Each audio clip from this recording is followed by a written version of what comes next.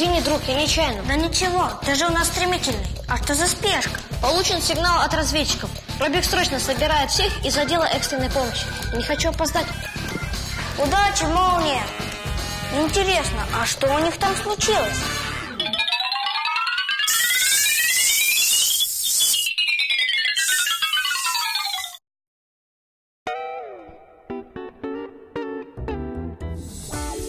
Такого у нас еще не было. Это надо же. Нужна помощь, однозначно. Внимание, вывожу ситуацию на экран.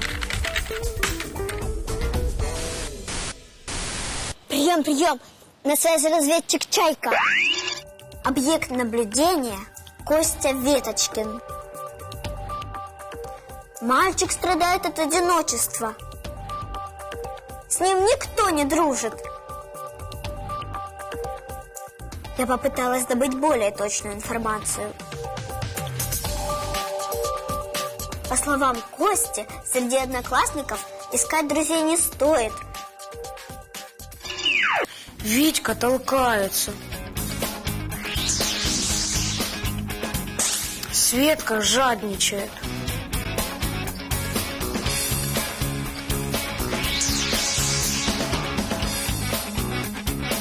А Димка обзывается. Костик, хвостик. Вот видите, И так далее по списку. В общем, не класс, а катастрофа. Спасатели, надо помочь Косте найти друга. Все, конец связи.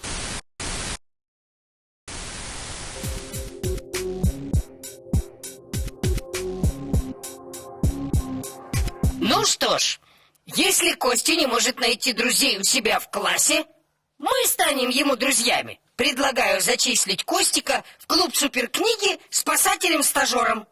Отличная идея, Робик. У нас Костю никто не обидит. И скучать ему некогда будет. В нашем клубе дел хватает. Очень на это рассчитываю. Значит так, Молния, Ромашка, возьмете Костю с собой на задание. Я уверен, дружба рождается быстрее, если делать что-то хорошее вместе. Задание принято.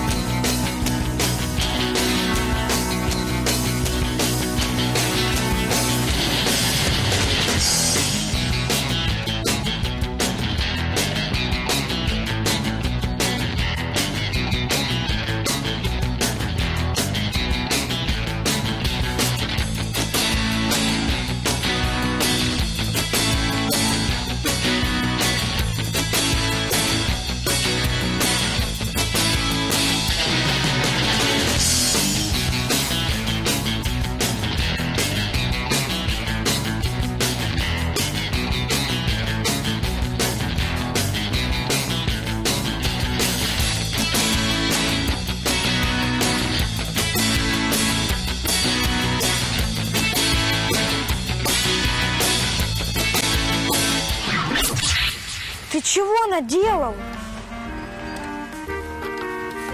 А, прости, друг. Я нечаянно, я, я все исправлю. У Робика есть такое средство, все выведет. Я думал, вы не такие. А вы такие же, как и все.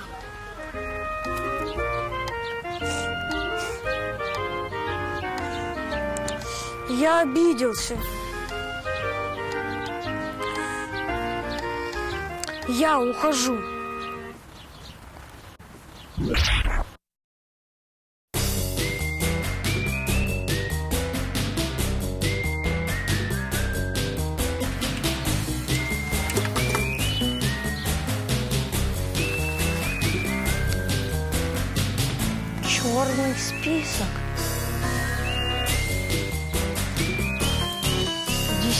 февраля. Витька толкнул меня на физкультуре. 20 марта. Светка не дала списать математику. 6 апреля Димка обыграл меня в шашки.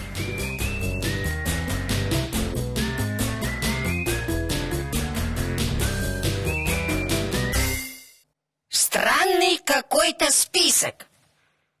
И зачем он нужен Косте? Может, у него память плохая. Вот он и записывает. Точно, у меня была когда-то такая история. В общем, готовился я в спортзале, чтобы надрать уши одному. К чему ты готовился? Надрать уши? Но это было давно. Я тогда еще спасателем не был. В общем, слушайте.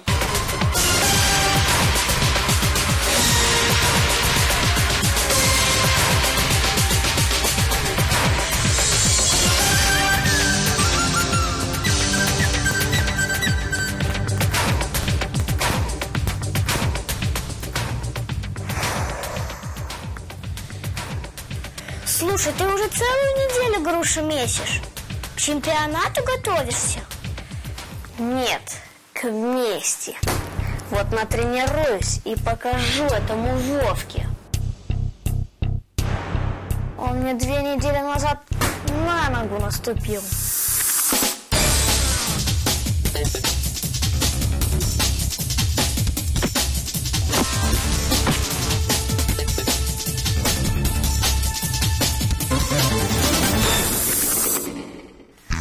А разве можно так долго помнить обиды? Можно. У меня память хорошая. А у меня плохая. Поэтому я все обиды записываю.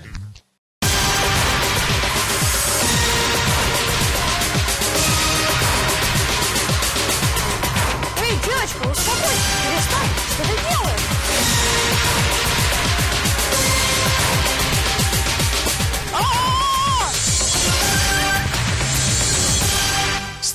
Пор я научился быстро прощать. А вот Костик, похоже, нет. Он как и та малышка, все свои, так сказать, обиды записывает. Теперь понятно, почему у Костика друзей нет. Хе, но ведь спасатели не могут стоять в стороне. Нужно помочь мальчишке. Мы пытались, но... Но, но мы еще не обращались за помощью к суперкниге. По-моему, сейчас самое время.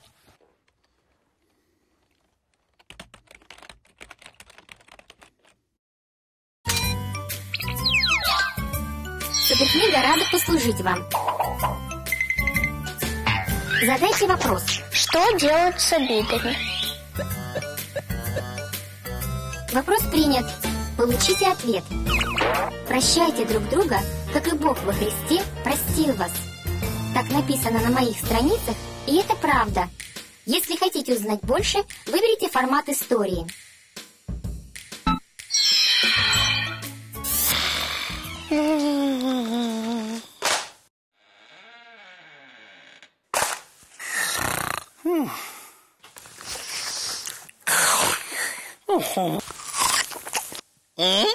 Маша, а, а что ты здесь делаешь? Ям яблоко. Ну, это я вижу. Но почему ты ешь его в одиночестве на чердаке, а не с Олей на пикнике? А я с ней больше не дружу. Вот еще новости. Почему? Да потому что она сказала, что я в этой панаме похожа на бледную поганку. Это гриб такой ядовитый. Ну да, да, знаю. Ну, думаю, Оля не хотела тебя обидеть. Прости ее, Машенька. Она просто неудачно пошутила. Мне надоели ее шутки. Сколько можно прощать? Хороший вопрос. На него есть не менее хороший ответ. Однажды к Иисусу Христу пришли ученики и спросили. Господи, сколько раз прощать брату моему, который меня обижает? Семь раз. Достаточно? Иисус назвал совершенно другое число, а затем и рассказал притчу. Жил-был грозный и могущественный царь. Как-то позвал он человека, который должен был ему огромную сумму денег и велел отдать долг, иначе он не, и вся его семья будут проданы в рабство. А? Как тебе? Вот бедняга. И вот этот самый бедняга стал плакать и умолять, чтобы царь потерпел еще немного. Он выплатит долг. Но царь решил не ждать. Царь решил простить весь тот огромный долг и отпустил беднягу домой. Но рано радуешься, Машенька. Получив прощение, этот человек побежал не домой, нет. Нашел одного из своих товарищей, который задолжал ему совсем немного и велел вернуть деньги немедленно. Но друг был настолько беден, что не мог вернуть даже этой мелочи и попросил подождать. Тут герой нашего рассказа так разозлился, что, недолго думая, отправил друга в тюрьму, не простив ему долга. Как же так? Ведь ему самому только что простили его долги. Да! Этот человек получил прощение, но сам прощать не хотел. Узнав об этом, царь велел схватить его и заставил выплатить весь долг без остатка.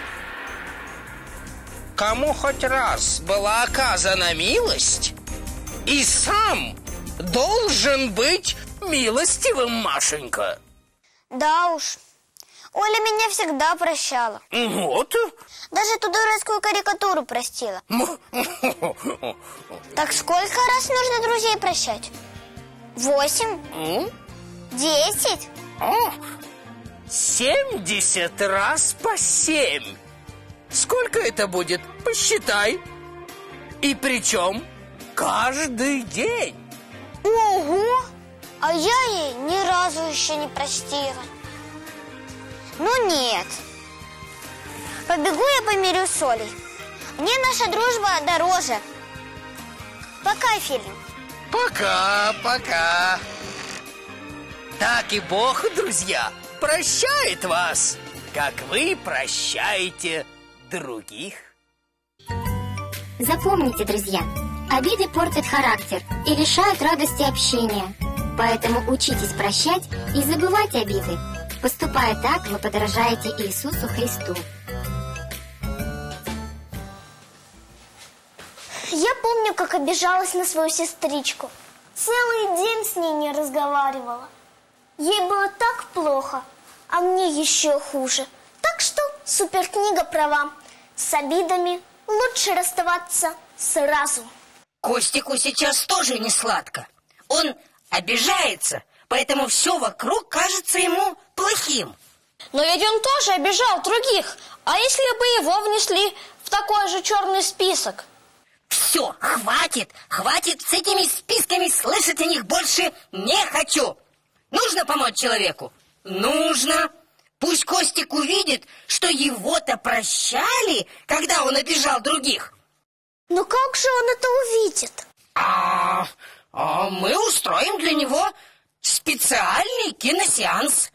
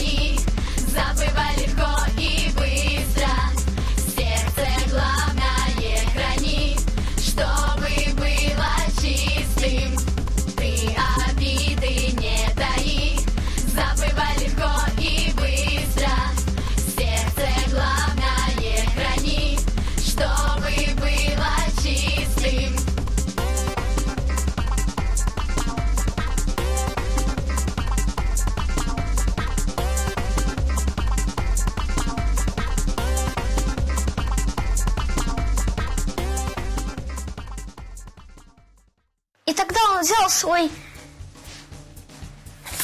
черный список и порвал его на мелкие кусочки. И все обиды улетучились. Если бы все так было легко. Иногда так трудно простить и забыть. Но мы всегда можем рассчитывать на помощь Бога. Нужно только попросить Его об этом. Дорогой Господь, помоги мне сразу забывать все обиды. Научи меня прощать других так, как Ты прощаешь. Спасибо Тебе за милость и любовь. Аминь.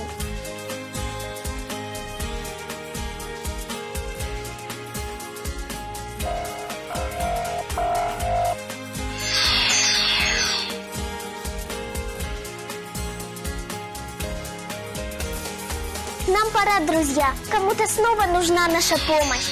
Пишите нам и присылайте свои истории. Звоните и задавайте вопросы.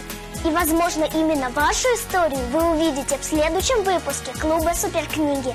До встречи, друзья! Пока!